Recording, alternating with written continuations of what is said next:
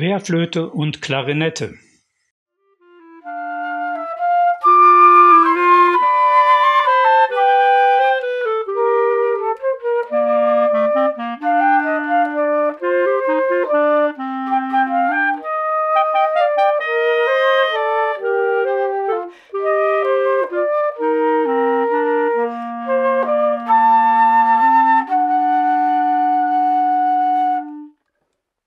Sie eben hören und sehen konnten, habe ich heute einen besonderen Gast.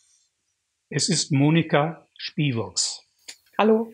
Ich kenne sie seit einigen Jahren. Sie spielt in unserer Band Jazz We Can Querflöte. Ja, Monika, ich habe vor einiger Zeit gehört, dass du dich für die Klarinette interessierst, dass du Klarinette dir selber beibringst. Ja. Und ich hätte gerne von dir gewusst, wie du damit zurechtkommst. Also im Prinzip äh, ist der größte Unterschied die Anblastechnik, weil ich bei der Querflöte über das Mundstück blase und bei der Klarinette in das Mundstück.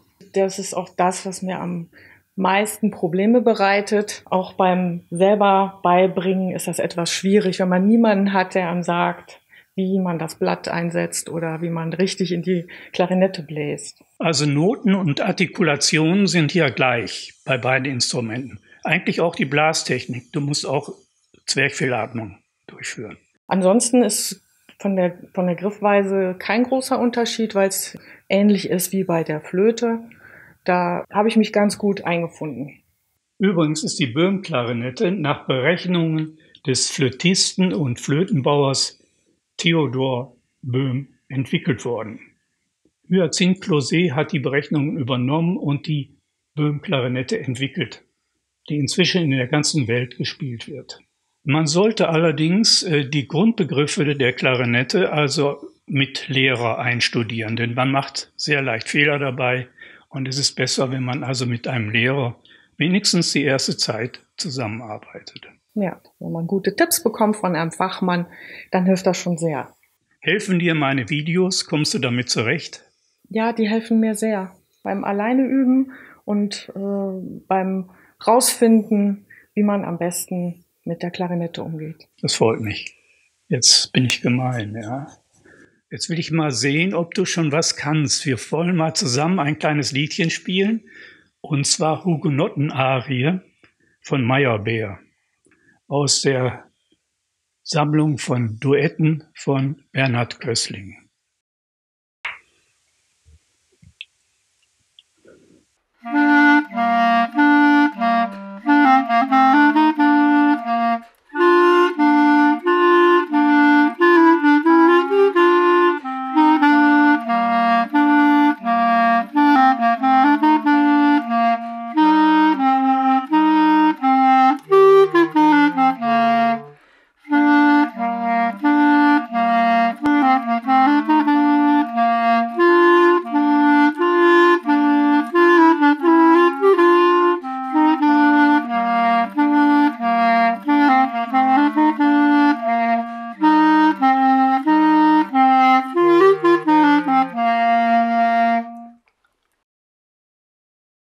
Die Noten zum Mitspielen finden Sie über einen Link in der Videobeschreibung.